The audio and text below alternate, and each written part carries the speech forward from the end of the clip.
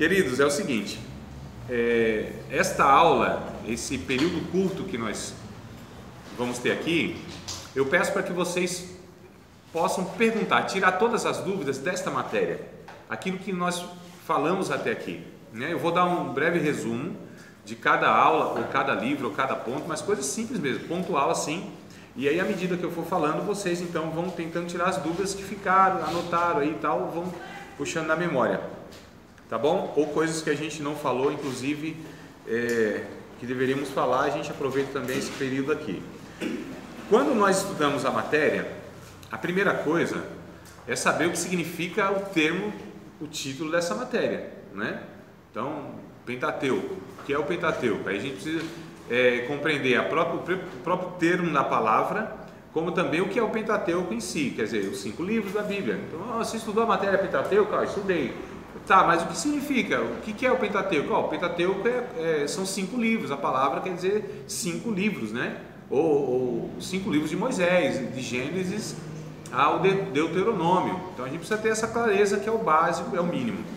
A gente precisa entender, amados, que cada livro que nós estudamos, Gênesis, Êxodo, Levítico, Números e Deuteronômio, cada um deles então tem um tema que a gente abordou. Bom, Gênesis vai falar do quê? Bom, é o que diz o próprio do começo, do início, que é Gênesis, do início. Início do quê? Início da criação de Deus, né? a criação do cosmo, o início da, da, da criação do ser humano, o ser humano antes do pecado, até o capítulo 2, o capítulo 3 ali. Aí o homem caiu da, é, da graça de Deus, vamos colocar assim, o homem rompeu com Deus, a partir disso entrou o pecado no mundo, aí começa o processo de Deus resgatar o homem. Mas aí até é, Deus resgata o homem, que chega lá no Novo Testamento, quer dizer, ainda o Gênesis vem trazendo todas as informações de como que a terra foi se formando, a terra, não a terra, a terra, né? A população, as nações, o dilúvio, a corrupção do homem, Deus chamando o homem lá, que é o Abraão, no capítulo, final do capítulo 11 para o capítulo 12, para formar uma, nação, essa nação é Israel, de onde saem as doze tribos, que são os doze filhos de Jacó, né? É isso? É isso, amado? Não é pegadinha, não. Estou perguntando é por isso. É, então, meio desconfiado assim. Calma, resposta errada ainda não vale nada, não vale nota. Então, responda agora é a oportunidade de errar, que a gente corrige, né? Então, eu estou tenso, apreensivo. Né? É, ô, irmão, vamos fazer uma ginástica aqui, alguma coisa para relaxar, cantar uns louvorzinhos, que aí o povo fica, né? Tal. o Gênesis aí vai contar aí toda essa história da formação deste povo, que é o povo que Deus vai escolher na história para trazer o Cristo para o mundo. E aí a gente vê então em Gênesis essa formação, as 12 tribos, a gente vê em Êxodo essa tribo, ou desculpa, essa nação de Israel sendo escravizada no Egito, né, capítulo é, 3 mais ou menos, Deus chamando aí o Moisés para ser o libertador desse povo, aquele que iria conduzir esse povo para a terra prometida, porque Deus tinha prometido lá no capítulo 15, 17 de Gênesis para Abraão que eles seriam uma grande família, uma grande nação, eles iriam dar uma terra depois de 400 e poucos anos e tal. Isso se cumpre então lá em Êxodo, né? capítulo 12, a formação que nós vimos do calendário judaico a partir da celebração da Páscoa. A Páscoa simboliza inclusive essa libertação do povo da escravidão onde o cordeiro é sacrificado. Essas coisas iam apontando para Cristo, né? A gente sempre então, tem. Êxodo é a formação. Êxodo, na verdade, o livro quer dizer saída, né? Que é a saída desse povo que na verdade já era um povo, só que agora escravo no Egito. Então, Êxodo quer dizer saída, que é a saída do povo do Egito, da escravidão, para a terra que Deus tinha prometido. Então, Êxodo vai trazer aqui é, essa informação que esse povo agora foi liberto por Deus e conduzido até a terra prometida. Porém, nesse meio, a gente viu que o povo desobedeceu, pecou e tal. Aí vem Deus colocando no próprio Êxodo, capítulo 20, as suas leis, a sua vontade, que nós chamamos de dez mandamentos. Né? Além desses dez mandamentos, que é a base, aí Deus vai é, ordenando ou vai trazendo vários preceitos, várias leis que vão norteando a vida do, do, povo em todas as situações. Como que se vive nos negócios, como que se vive na família, como que se vive para se aproximar de Deus, que são as leis litúrgicas, purificação e isso, isso pode, isso não pode. Essas coisas representavam tudo aquilo que era moral, que era ético. Né? Deus estava ensinando esse povo a ser diferente de todas as nações, é por isso que tinham proibições lá: não toque nisso, não use isso, não, não use tal tecido misturado, é, não faça os cantos da barba, não use semente misturada. Né? Então a gente percebe que isso, inclusive, essa, todas essas ordenanças, Novo Testamento, é tudo, é tudo é, isso é tudo ultrapassado, porque isso tudo representava algo que viria lá na frente. Deus estava por figura. Lembra que eu falei para vocês que a gente vai ensinar a criancinha, a gente ensina por figuras? Você não fala para a criancinha o conceito, a palavra, ela não tem capacidade de assimilar isso. Então você pega lá uma maçã, uma casinha, uma árvore e uma nuvenzinha e você vai desenhando. Ó, oh, isso aqui é isso, isso aqui é isso, mas é por figuras. É isso que ela consegue assimilar. Então, o Antigo Testamento é Deus ensinando esses meninos, né, que essa humanidade que, ou essa, essa nação é, que está sendo ensinada por Deus, mas Deus não está trazendo ainda a sua perfeita vontade. Há tolerâncias de Deus. A poligamia, por exemplo, é uma tolerância de Deus. Né? Então Deus permitia que a pessoa tivesse, um homem tivesse mais de uma esposa. No caso dessa primeira, ser estéreo, porque havia o propósito do prolongamento da vida da população e da nação e tal e tal e tal. Mas isso era vontade de Deus? Nunca foi vontade de Deus. Então Deus tolerou um monte de coisa. A escravidão em Israel era uma escravidão comparado com as outras nações, a melhor que tinha, no sentido de era mais entre aspas humana, né? Então o escravo em Israel, ele tinha privilégio que nenhuma nação tinha. Ele tinha leis que o favoreciam, por exemplo, tinha que trabalhar lá sete anos, depois ele tinha direito, inclusive, à liberdade. A não ser que ele escolhesse, não, meu, meu senhor é tão bom, é tão justo, que eu vou servi-lo voluntariamente. Era o servo da orelha furada. Né?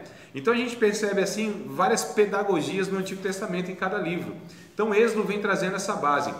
É, Levítico então vem trazendo as leis e o comportamento para aqueles que cuidavam das cerimônias, que eram os levitas, os sacerdotes que essas pessoas foram, foram pegas como modelo para toda a nação. Então eram referência esses homens. Né? Eles precisariam ser mais intensos na sua vida de santidade, de devoção. Inclusive as outras tribos tinham que sustentar essa tribo, porque eram ela, era ela, a tribo de Levi, que cuidava entre aspas das coisas santas de Deus, da adoração a Deus, da manutenção do templo. E aí vem números, então, mostrando essa trajetória do povo no, no deserto, porque esse povo era para entrar na terra prometida logo em seguida que saísse do Egito, mas devido à murmuração, à infidelidade, à incredulidade, apesar de todos os milagres de Deus, eles ficaram lá, irmão, 40 anos girando, assim, ó, no deserto e no final das contas, esses quase 2 milhões de pessoas, toda uma geração, morreu no deserto e não entrou, não entrou na terra prometida, incluindo o próprio líder Moisés. Olha só, só duas pessoas nós aprendemos, Josué e Caleb, daquela geração que entrou na terra prometida. Que quem entra de fato na terra prometida é a segunda geração. Eram as pessoas que eram os jovenzinhos, os adolescentes, né? as crianças, elas entraram então na terra prometida, com exceção de dois, José e Caleb, mas agora elas recebem então, a gente chama de a repetição das leis, que é o Deuteronômio. Então, Deuteronômio é a repetição das leis, né? Deuto quer dizer segundo, segunda lei, nomos, nomia, segunda lei, a repetição das leis, o reforço dessa lei. Essa geração que estava entrando precisaria saber a vontade de Deus. Então, o Pentateuco ele tem aí panoramicamente esses pontos que eu coloquei, mas tem infinitamente outros pontos que eu não tenho condição de tratar em 6, 7, 8 aulas, que fosse 10, que fosse 20. Nós estamos falando aqui, é, não é só de 40 anos registrados, aliás, não é 40 anos, coisa nenhuma. É, a gente não tem nem como mensurar direito o Gênesis. A gente nem sabe quantos séculos são.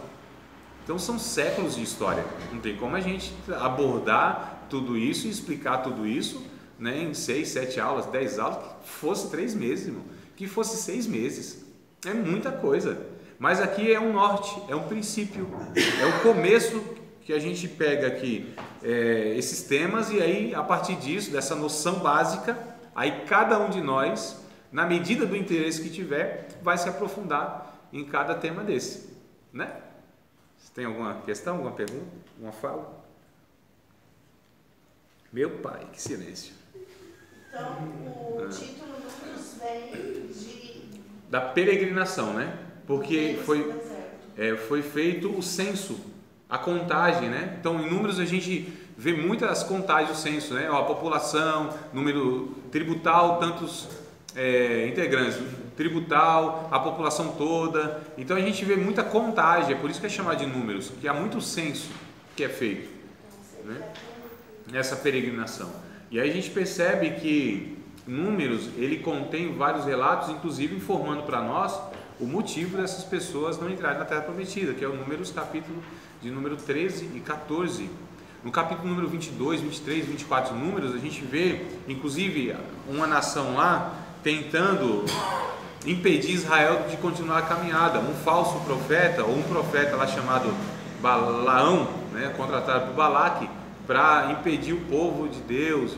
E houve aquela mistura. Então, de tudo isso, a gente vai extraindo lições para a vida de hoje, irmão. Isso é o mais importante, né? Que a gente compreenda isso e faça o link para a nossa vida hoje, senão fica um negócio distante, teórico e sem sentido.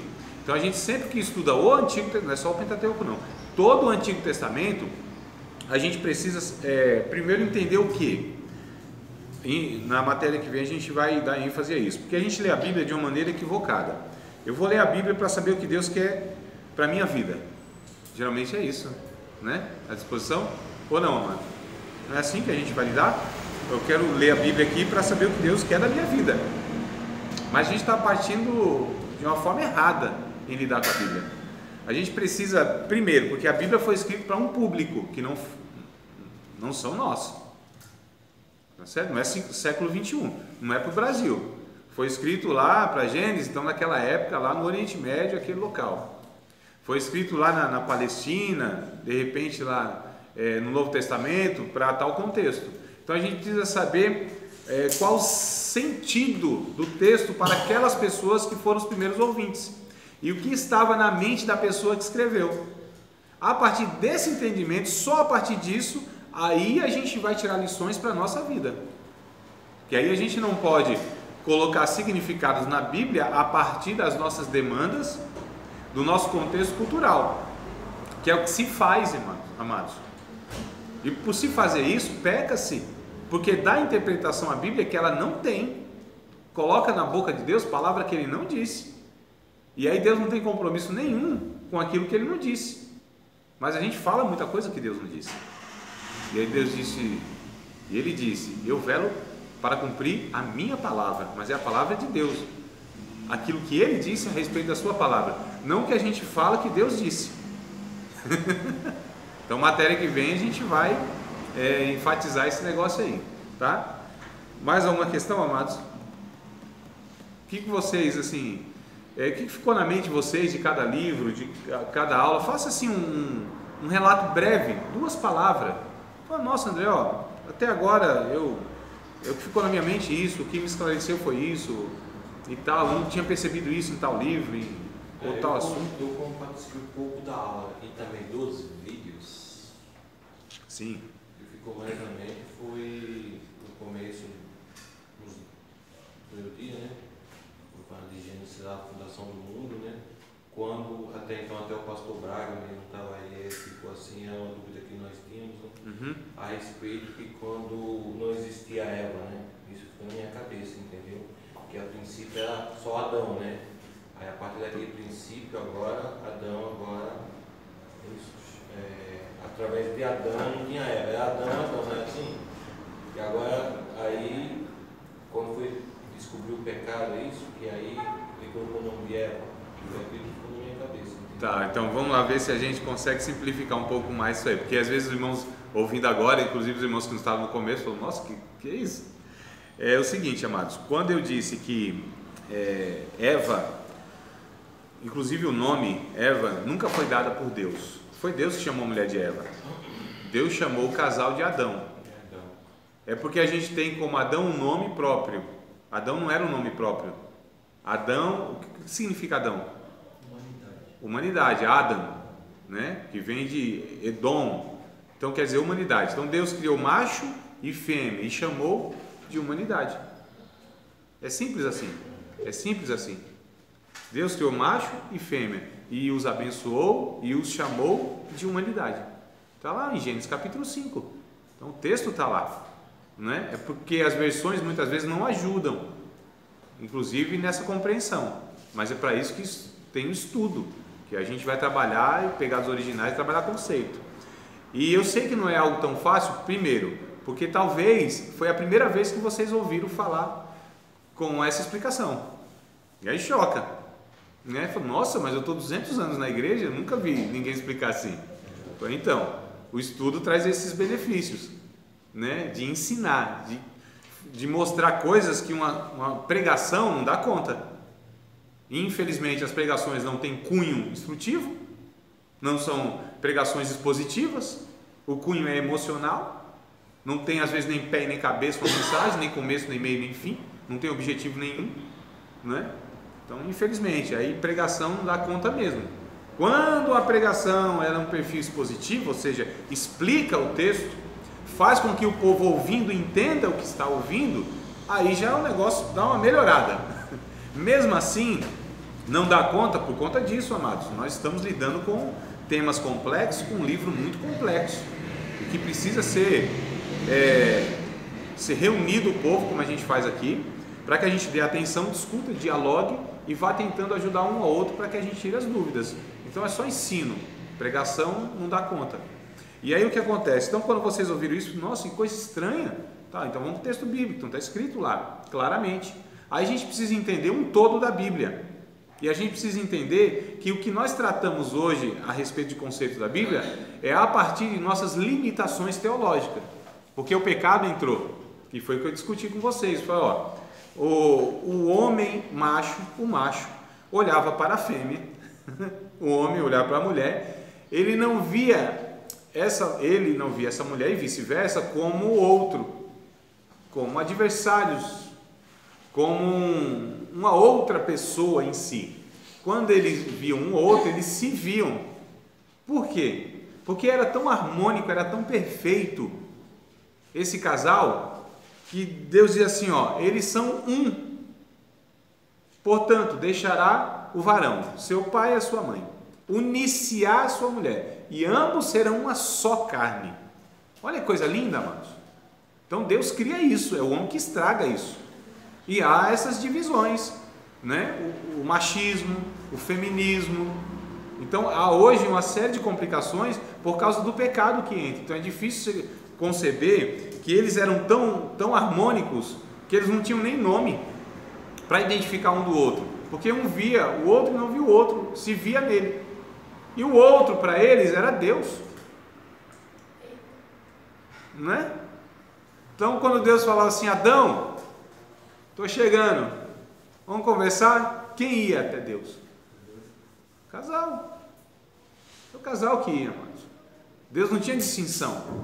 O homem está numa ordem criacional, funcional e não hierárquica sobre a mulher. E aí, quando a gente vai tratar, então, por exemplo, de liderança, de cabeça, logo vem na mente um superior e um inferior. Um hierarquia, um está em cima, outro está embaixo. Um manda e outro obedece. Manda quem pode obedece quem tem juízo. É o que a gente ouve nas igrejas. Conceito mais infernal do que esse não elaboram na igreja. Isso é dos quintos dos infernos. Mano. Quando falam manda, um manda, quem manda, quem, como que é? Manda quem pode e obedece quem tem juízo. De onde veio isso? Da Bíblia não é. O ensinamento bíblico não é. Nossa referência é a criação. Nossa referência é lá no início, que Jesus veio para retomar isso. Então o evangelho é a retomada daquilo que foi interrompido lá no casal quando peca. E aí, depois do pecado, Aí Deus fala: aconteceu, Adão? Aconteceu. Fala, a mulher que o Senhor me deu. Olha irmão. Como assim a mulher que eu te dei? Como você já está transferindo e culpando outra pessoa? Você não era responsável por ela? Eu não te ordenei para que você cuidasse dela e ela te ajudasse? O que aconteceu aqui? né? Professor, quando fala dessa em Deuteronômio 1, voltando naquela aula passada, 2, quando fala dessas 11 jornadas de Oreb a Cádiz, Hum. É, a gente, como é que eu posso fazer essa pergunta? A gente tá, a gente tá vivendo aqui que tempo aqui? Que tempo? Assim, como que tempo? É, essas 11 jornadas significa o quê? Cada 11 jornada dias. um dia? Um dia. Cada jornada um dia. A expressão é isso, são 11 E aí dias. quando fala assim, essas 11 jornadas, quer dizer que foi o tempo, não tem nada a ver com Canaã, é isso? Não, amado, é o seguinte. Essa informação que eu disse para vocês na última aula é que para eles chegarem na, em Canaã, na Terra Prometida, Hum, eles levariam 11 dias na caminhada, hum. entendeu? Quanto tempo levou para eles entrarem em Canaã? 40 anos. Então tem alguma coisa errada. Então quer dizer que aqui, é isso que eu quero ter essa dúvida. Então quer dizer que, porque teve muita questão, quer dizer que aqui então está dentro quando o povo de Israel estava saindo para Canaã, é isso? Exato, meu amado. Não tem nada, é, então a Bíblia não vai falar dos 40 anos na Bíblia, certo? Sim, vai falar assim. Aonde? Lá em Números. Em números? Isso, Números, capítulo 14. Nós falamos tudo isso, vocês lembram? Alguns anotaram. Então, todas essas informações nós trouxemos. Eu não vou Tá, conseguir. Então é lá que fala. Então, veja bem, é, é verídico que antes que Moisés, antes que Moisés fosse com esse povo, primeiro ele foi e ele gastou os 11 dias, depois ele, ele fez uma jornada de 11 dias, e depois com o povo ele gastou os 40 anos, é isso daí está dentro desse conceito ou não? Não, meu amado, é o seguinte. Moisés antes foi o pé, sozinho, o pé não, lógico, não tem a ver nem calma. Antes ele foi sozinho sem o povo, depois com o povo, Não, não, não. ver, né? Não, não. Não, aí vai ficar difícil, Antônio, eu, eu tentar te explicar tudo isso, porque nós levamos aí, é, você está falando pelo menos dois livros, né? Dois livros, que é o Números, Hum. aliás, o Êxodo, Números e o Deuteronômio, três livros, então eu não tenho condição de trazer toda essa retrospectiva agora. E aí tem os vídeos, aí o irmão vai ter todas essas informações no vídeo. Tá. Aí tranquilo, aí tem que recorrer lá, Varão. Eu não tenho condição de trazer todas as informações. Mas só para te dar uma- um nortezinho, é o seguinte: é, o povo sai do Egito, não é? Êxodo. Sai do Egito, atravessa o Mar Vermelho. Eles chegaram num ponto, dali haveria 11 dias para eles chegarem na Terra Prometida. Basicamente isso. Eles foram enviados 12 espias na Terra Prometida. Esses 12 espias voltaram com um relato, então, eles passaram 40 dias lá. Eles voltaram com um relato, 10 desses espias, desses príncipes de cada tribo, né? 12 cabeças representando cada tribo, voltaram e trouxeram uma mensagem desanimadora, incrédula. Murmuraram e fizeram toda a nação murmurar com esse relato. E aí Deus disse: Olha, por conta da sua incredulidade, representando cada dia que vocês estiveram lá, será um ano para cada dia. Então, 40 anos vocês vão peregrinar nesse deserto e não vão entrar na terra prometida por conta da incredulidade. Então, aquilo que deveria durar 11 dias para alcançar a terra prometida, Deus fez com que eles ficassem 40 anos ali e não entrassem na terra prometida. Então, basicamente, essas são as informações. Diga aí, meu amado. A, a parte que ele falou depois que falou, foi dos gigantes. Sim. Ali eu não- Capítulo 6? Tá, eu trouxe para vocês Eu trouxe para vocês, capítulo 6 de Gênesis. Eu trouxe para vocês duas possíveis interpretações do capítulo 6. Que, além da interpretação, ou das duas é, possibilidades de interpretação que eu trouxe para vocês, eu disponibilizei para vocês dois ou três vídeos que explicavam também com outros argumentos e com outros pontos. E aí o que acontece?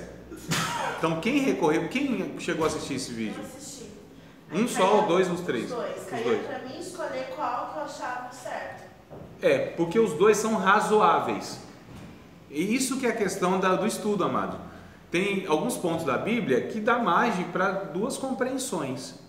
Que não é algo, olha só, eu estou colocando isso aqui como sendo algo, isso aqui não vai definir a nossa vida, a nossa salvação.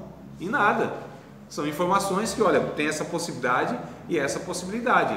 Não são heréticas, não é absurda. É que tem duas possibilidades. Nós estamos tratando 5 mil anos atrás. Né? irmão?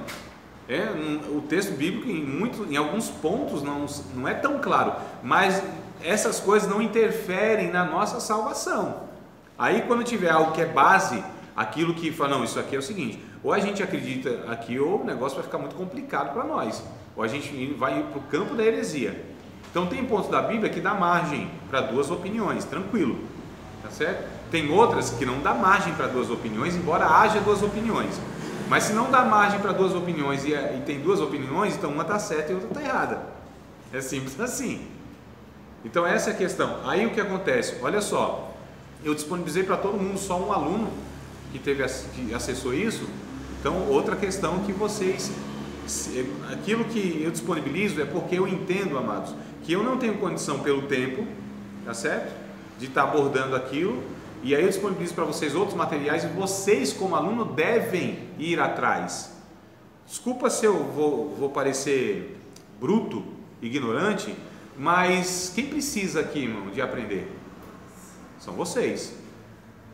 Modéstia à parte, sem soberba nenhuma. Eu sei os temas. Sem, so, sem orgulho nenhum, sem soberba nenhuma. Eu sei os temas. Então, quem precisa é vocês, são vocês. Então, estudem, amados. Leiam. Corram atrás. Né? Se dediquem. Eu vou estar à disposição de vocês. Eu sou todo de vocês. Tudo isso aqui é para servir vocês. É certo? Eu quero me doar para vocês, mas à medida que vocês tiverem interesse. Que eu não estou disposto a ajudar ninguém que não tem, não tem interesse. Mas eu me dedico ao máximo, e vocês vão ter a certeza disso, a, a, a caminharem comigo. Todas as vezes que vocês me solicitarem, eu vou fazer o máximo, o meu melhor para ajudar vocês. É prazer para mim, alegria para mim. Mas quem não mostra o mínimo de interesse, eu também falando, eu não vou, não vou ser eu que vou ficar falando, oh, não, faz isso, faz aquilo, não.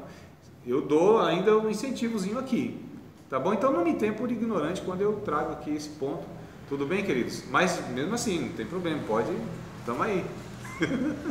então, meu amado, é assim, tem as duas opiniões, tem os dois pontos lá. O primeiro, ou não é o primeiro, mas um, é que entendem que o Gênesis capítulo 6, quando diz os filhos dos dos homens e uh, as filhas, os filhos dos homens possuíram as filhas de Deus.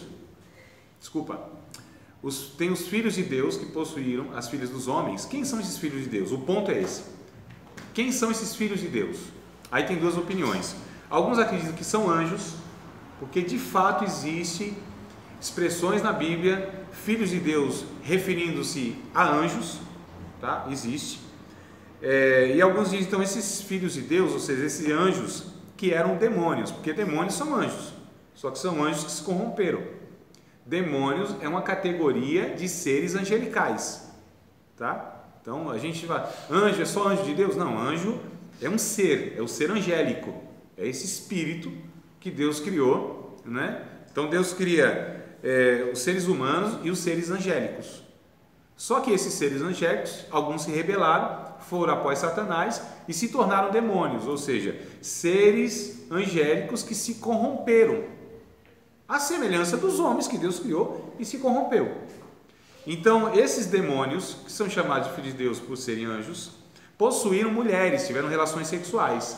Desse relacionamento sexual surgiram o que? Gigantes na terra, homens enormes. Pessoas extraordinárias, né? Sim, Inclusive pessoas assim que eram é, na época muito violentas, arrogantes, não é? Então essa sociedade do capítulo 6 de Gênesis é o que mostra que Deus trouxe o juízo. Deus disse não, essa sociedade é, se tornou tão corrupta, o coração cheio de violência, o meu espírito não vai habitar para sempre com essas pessoas.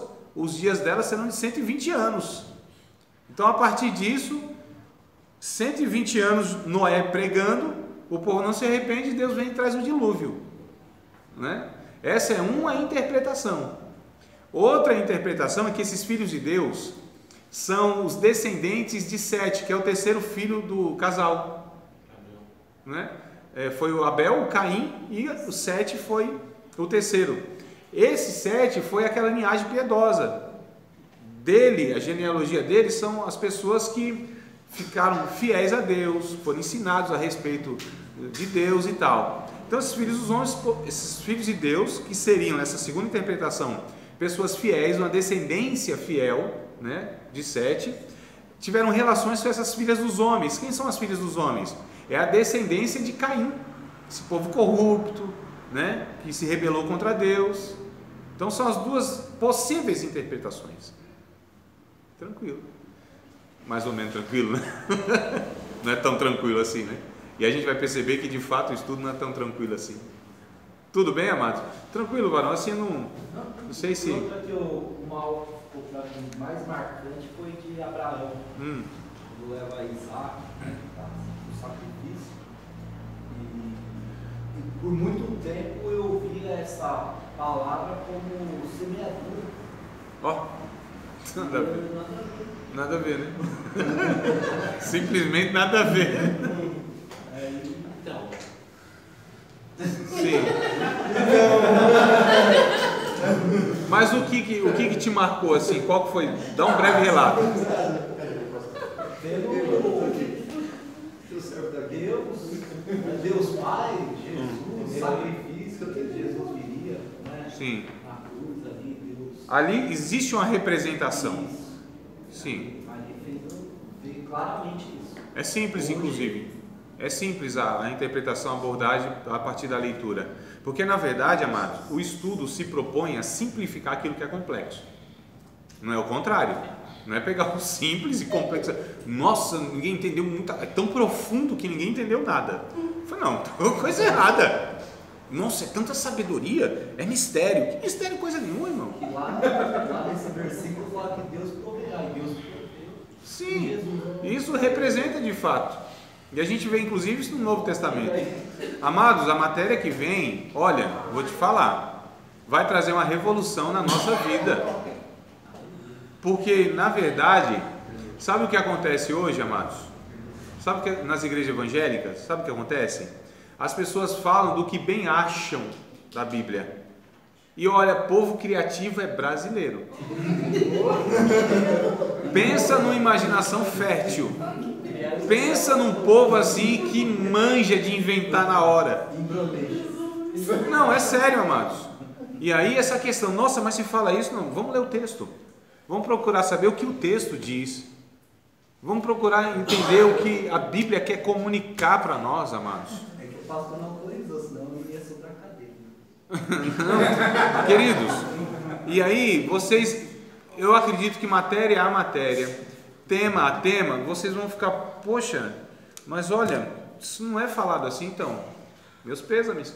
Pastor, é, professor, a primeira aliança então não foi com. é, meu Deus, Aliança? É, a primeira aliança de Deus com o ser humano foi então com Noé, não foi com Adão. Não. Veja bem, existe na, na teologia a ideia do aliancismo, né? E das dispensações. Então são duas formas de pensar toda essa trajetória, como Deus se relacionou com o ser humano. Então a gente fala, se for falar da- das dispensações, então a gente vai falar é, da dispensação é, do Éden, de Adão no caso, depois de Noé, dos patriarcas e tal. A primeira aliança que Deus fez foi com Adão, o casal. Quando esse casal então peca, Deus faz uma aliança com a mulher. Com a mulher. E diz assim: olha, é, do teu ventre vai nascer um que vai pisar a cabeça da serpente. Né? Então Deus faz uma aliança com a mulher, ou com a semente que viria da mulher. É por isso, amados, que em toda a cultura, e até hoje, mas desde aquele tempo, a mulher sempre foi subjugada. E é por isso, inclusive, que quando uma mulher hebreia não tinha filho, era um desespero enorme. Lembra de Rebeca? Eita, Raquel, dá-me filho se não morro. É Raquel que fala isso, né? Ana, Não, estou falando bem no Ana também, mas bem lá no comecinho já. Né? Então foi Raquel, dá-me filho se não morro. Era um desespero. A, a mulher estéreo, aliás, nós sabemos hoje que nem sempre a mulher era estéreo. Às vezes é questão do homem, né? Mas naquele tempo sempre era visto como mulher sendo estéreo. Isso era considerado aos olhos dos, das pessoas da época como uma maldição de Deus. Porque a promessa é que viria o Salvador do mundo através da mulher. E é por isso que a mulher sempre foi subjugada em todas as culturas. Porque Satanás quis fazer isso. Né? Sempre colocar a mulher como inferior. Então a gente percebe, inclusive, que existe algo cultural no Antigo Testamento, na, na, nos judeus, que Deus estava tratando e não concordando com tudo. Amados, o que Deus está fazendo? Está resgatando o homem na medida do possível. Está se relacionando com o homem na medida do possível. Deus se rebaixou e se humilhou a tal ponto de ter que trabalhar com esses seres pecadores nas suas limitações e ir aos poucos, a gente chama de uma revelação gradual, paulatino, pouco a pouco. Deus ia se revelando aos poucos, aos pouquinhos, até chegar no ápice, que é Cristo. Então Cristo vem, aí é a plena revelação de Deus. Aí não há mais nada é, para que Deus mostre de si, ainda mesmo limitado, lógico. Porque Deus não é que ele é totalmente compreendido pelas Escrituras Sagradas, claro que não. Deus é Deus, irmão. Não tem Professor, como. é, Teve uma parte também que eu vim. Tá rodado já? Não, pode ficar à vontade. Que vou fazer aqui não janto agora que me emocionou muito, cara. Foi a parte que quando o senhor falou, quando Eva come o fruto, né? Uhum. E, e Adão também ele, ele vem e chega, né? Eu acho que tinha que passear, uma coisa assim, no jardim. Deu um rolezinho, não tava fazendo um nada, rolezinho. né? É. E ele volta e ele come do fruto também, né? Porém, assim, foi como. Eu não vou lembrar, o senhor recapitulou para mim Tá. novamente. É como se ele fez como um Cristo, né? Também, né? Ele tipo, se Sim. O que eu disse para os irmãos que não lembram e não estavam, eu disse o seguinte, que não é que eu disse, a Bíblia diz lá em Timóteo que o homem não foi enganado. Quem foi enganado foi a mulher. Não é? A mulher foi enganada, o homem não. O que, que o homem faz ali? Porque ele viu que a mulher tinha perdido a pureza. Tanto é que a Bíblia diz que eles estavam nus, não se envergonhavam. Mas quando a mulher come o fruto, que ninguém sabe que fruto que é, há uma tradição da maçã, mas isso não é bíblico, tá? Não há nem tempo para explicar isso. Mas a questão é, ele viu, ele olhou para a mulher e ambos se envergonharam. Então ele viu que ela tinha de fato desobedecido a Deus. O que, que ele faz? Ele se sacrifica por essa mulher e come daquele fruto. E o que ele fez? Ele doou a sua própria vida e morreu junto com a mulher. Que isso é o que? É o exemplo do que Cristo faria, mesmo não tendo culpa, mesmo sendo puro, mesmo tendo a possibilidade de não se sacrificar por ninguém, porque não precisava, e não foi ele que desobedeceu. Mas então aqui Deus já está mostrando, inclusive, e o Adão, ele toma o macho, ele toma a atitude que Deus esperava que ele tomasse. Era macho. Além de macho, macho de verdade, né? Porque no norte di- diz assim, é, sou macho, sim senhor, né? Agora o, o Adão diz sou macho, sim, senhor. É diferente. Entendeu? Sou macho, sim, vírgula, senhor. Não, é só a questão de que eu sou teu servo. Eu sou homem de verdade. Porque homem de verdade é servo e se sacrifica pelo outro, inclusive pela sua esposa. Isso está lá em Efésios, Novo Testamento. Né? Então, percebam, amados, como existe mais muitas lições de toda a Bíblia para que a gente aplique, porque é o parâmetro, é o padrão, Deus criou, é criação. Quando Jesus foi corrigir alguns pensamentos no Novo Testamento, para onde que ele foi? Para a criação de Deus, antes do pecado. Senhor, questão de divórcio, é difícil viver com a mulher e tal, desse jeito, desse padrão que o senhor está falando, o negócio é complicado. Foi então, mas o que diz lá no princípio? Deixará o homem sua mãe, sua, seu pai e sua mãe, vai se unir a sua mulher, ambos serão a sua carne, o que Deus uniu, não separe o homem. Jesus sempre pegou lá depois, antes do pecado, parâmetro de Deus, continua o mesmo, né? Então percebam, amados, que existem diversas outras lições que eu não tenho nem condição de trazer para vocês, pelo tempo e pela minha limitação também, como aquele que estuda a Bíblia. A Bíblia é um negócio fantástico, fantástico. Queridos, eu vou ter que acabar por aqui. Esse pequeno resumo, não foi nem resumo, mas eu incentivo que vocês continuem a estudar esse tema, tá certo? Por livros e por outros ensinadores. E agora na volta do, do nossos comerciais, eu vou passar para vocês aqui ensinadores que vale a pena vocês lerem, tá bom? Vocês é, terem aí essa, essas referências e aí a gente vai falar, né? Quem vale a pena ouvir, quem não vale.